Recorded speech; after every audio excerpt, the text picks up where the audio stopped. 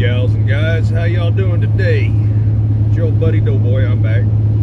Uh, sorry I haven't been getting more videos up lately, but uh, I'm headed to Texas right now. With my mom, thought I'd go ahead and give my eight month review on Oakley. Been here eight months now. Uh, so far, it's been great. I mean, I'm running. I'm making dang good money. I know a lot of guys, they're hesitant about the market right now. Uh, I know, I've heard, don't know, I've heard that, uh, you know, freight's going down and, you know, stuff like that. Over here on our end dump side, we're not seeing it. Uh, I'm running steady every day. Uh, this last time out, I stayed out three weeks had some dang good chicks. I mean, really, really good chicks. So, uh, you know, the fuel, you know, that's high right now, but, you know, we get our fuel surcharge and that takes care of all or most of the fuel, depending on what kind of fuel mileage you get in your truck. You know, our fuel surcharge is based on six miles per gallon you know, these long nose trucks, you know, they're most of them's not getting no six miles a gallon. At least not the ones I know. They're all getting around five to five and a half if they're lucky. Uh, some of them's down around four. So, no, excuse me, my truck. Uh, I've been keeping a steady average of around 6.1. Had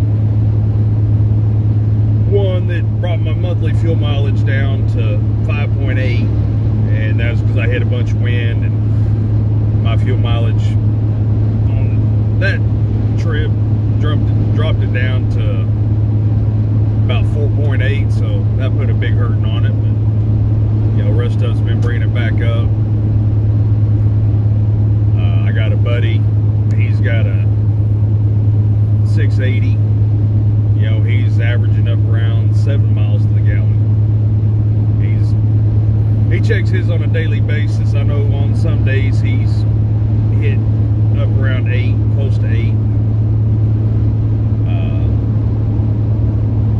so, you know, he's actually making money off the fuel surcharge.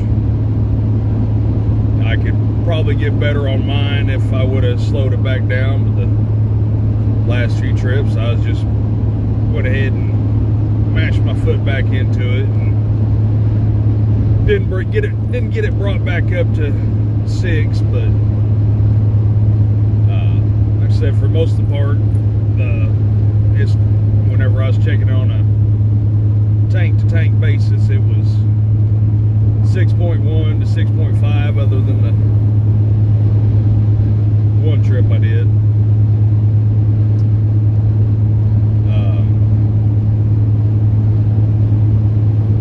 truck prices, yeah, they don't seem to be coming down yet.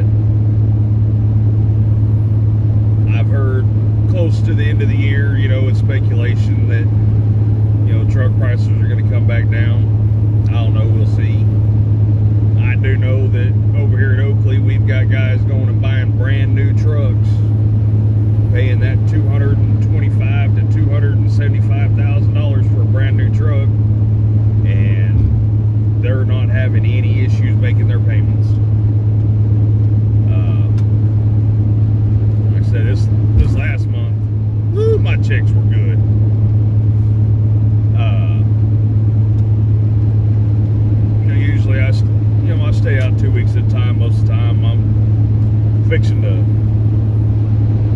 start coming back home every week again. I finally got my bank account growing back up to where I like having my cushion just in case something happens. You know, I do make a little bit, you know, more staying out two weeks. I get some of them longer loads. But, uh,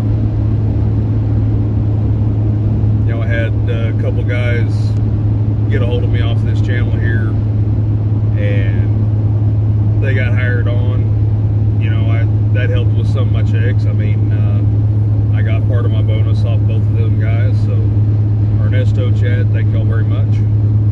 My wife thanks you too because I just bought her a brand new riding lawnmower yesterday with one of them. Y'all can fight between the two on uh, who paid for it. Uh, if I never meet up with y'all on the road, I've seen Chad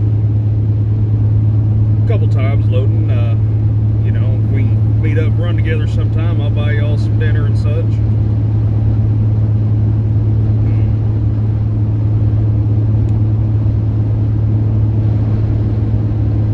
Like I said, uh, we're I've, I've heard loads we're gonna slow down a little bit, but I haven't seen it.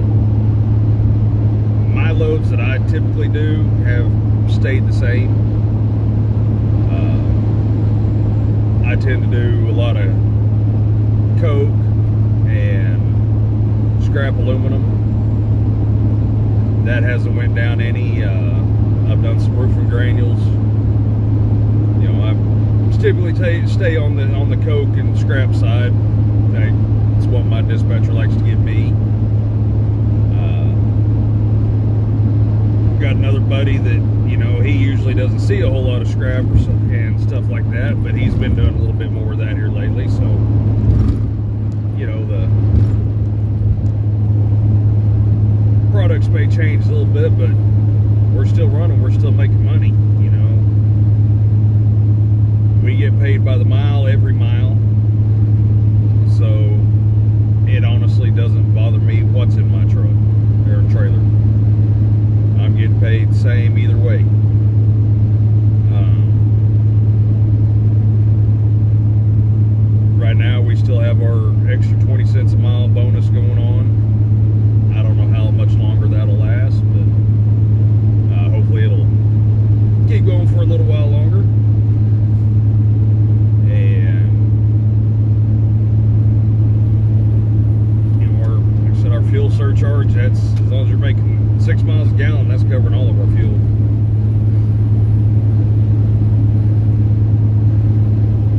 I do know one thing.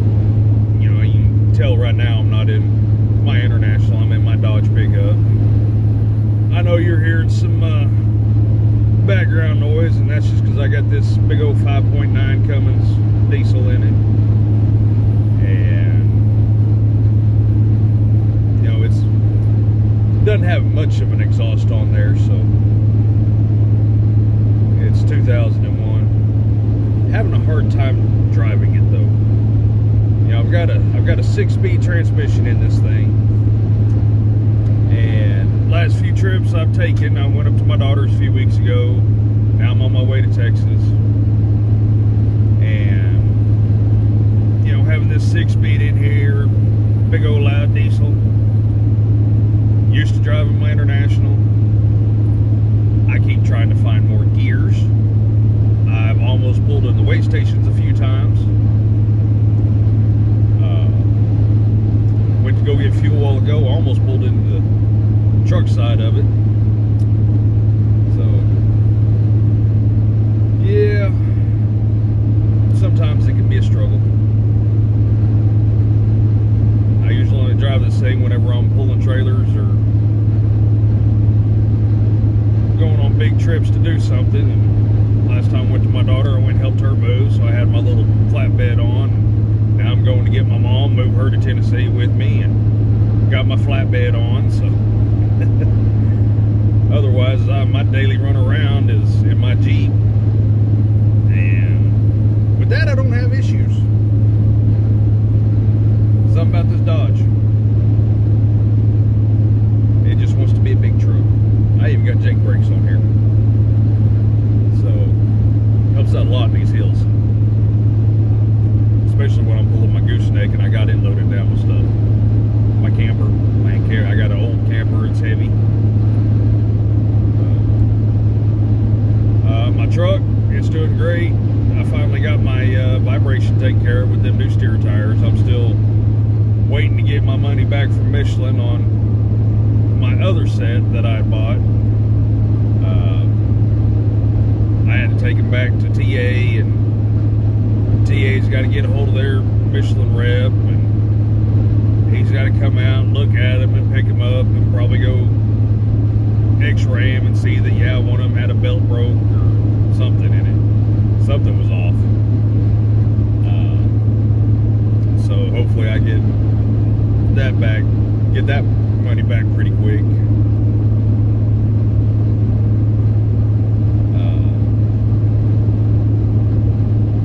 the other day I sat down at one of our roofing places for 35 hours. Luckily we get demurrage. Uh, we get 10 hours a day max per day.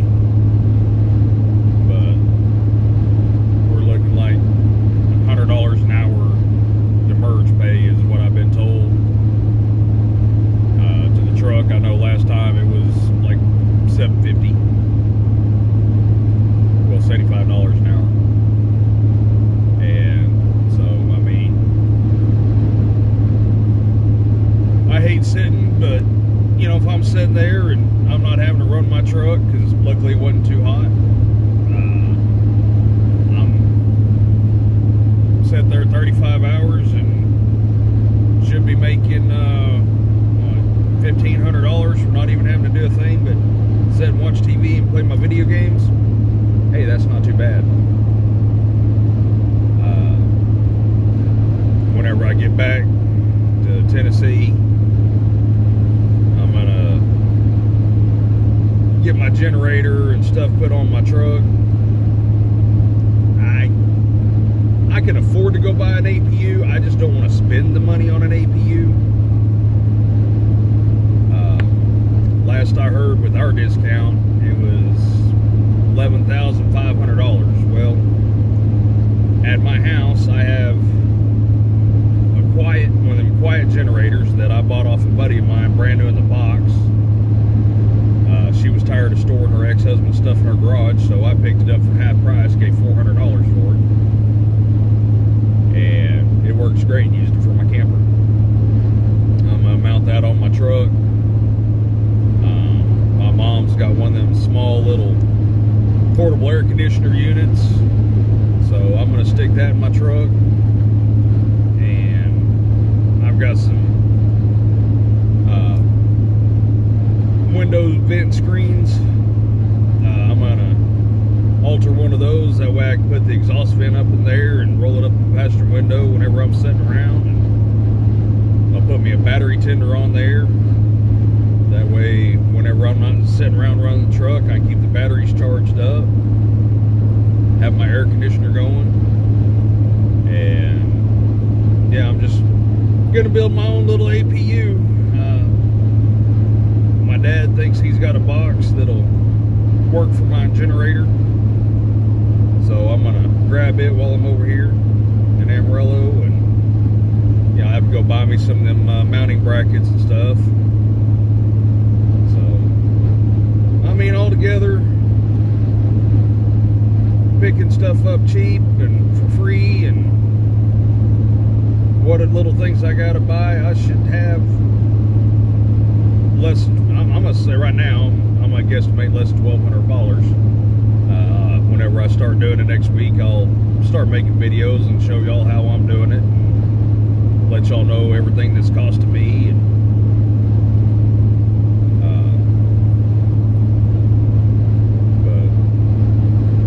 if y'all's thinking about making a change and you want to come over to Oakley, make some of this good steady money, steady loads, uh, you know, send me an email, T-A-K-S-I-D-E-S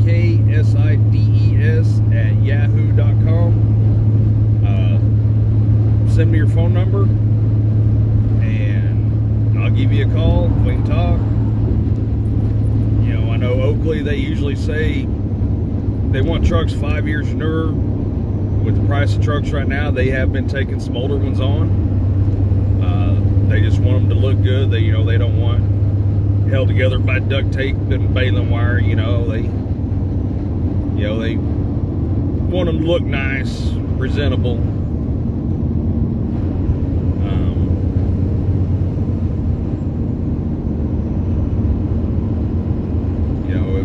It doesn't have to be exactly show truck quality. But I got another guy I'm working with. He's got a 2010 Freightliner that he's looking to put on, and uh, they just they want him to send him they want him to send them some pictures so they can take a look at it. And they'll tell him yay or nay.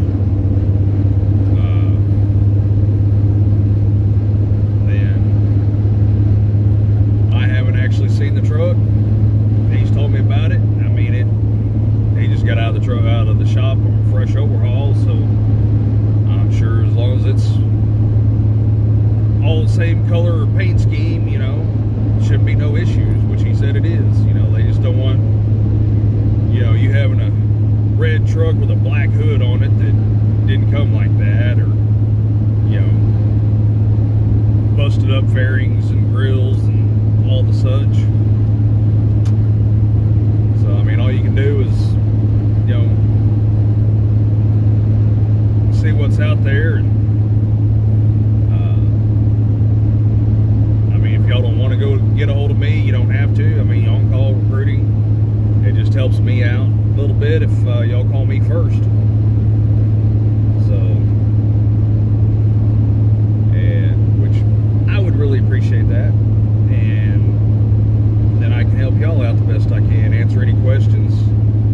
You know, I'll send you copies of my paycheck stubs. That way y'all can see what I'm making, you know. Let you know that I'm actually not blowing smoke up your hind end. Um,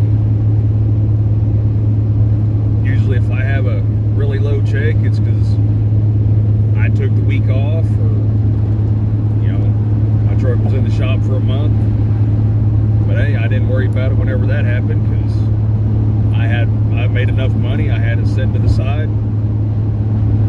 I went out, still bought things, still paid all my bills, still made my truck payments, still had money in the bank whenever I got it back. Um, so yeah, just put some comments down in the comment section. Uh, let me know what y'all want to know and send me an email, send me your phone number.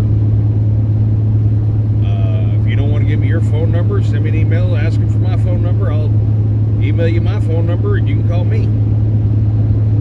Uh, and it doesn't matter if you want to do end dump or if you want to do the hopper division or the pneumatics. Give me a shout. I'll let you know what I can pneumatics, they make more money than the end dumps. End dumps make more money than hoppers. The thing about the end, the, the pneumatics is you have to stay out two weeks at a time. Uh, be able to go to Canada. You're spending $10,000 on a blower. And you're using a lot of fuel to run that blower got some guys over here that they've actually went from pneumatic down to end dump and actually make more money because they're saving on fuel and they don't they can actually run more loads because a lot of these uh, places we go to on pneumatics they have to sit and wait for a little while. I mean nothing bad on pneumatics I thought about it but I don't want to go to Canada two weeks at a time, that doesn't bother me. Plus, I don't like listening to the blower. That's just my personal stuff. You got some people that uh, they swear by it. They, they like it. They don't have to worry about their trailer going up in the air and waving at them or anything like that. Uh, they don't get as dirty because they're not back there crawling around in the trailer resetting bows. Got some people over here, you know, they want to stick on their hoppers. Uh, they like running roofing granules and grain and glass, and they don't have to crawl in and out of their trailers. they don't have to buy any extra equipment. You just hook up and go. Uh, get up in there and sweep a little bit after after your loads down the road. Me, I love my end dump. I don't mind getting dirty. Uh, yeah, sometimes I get mad about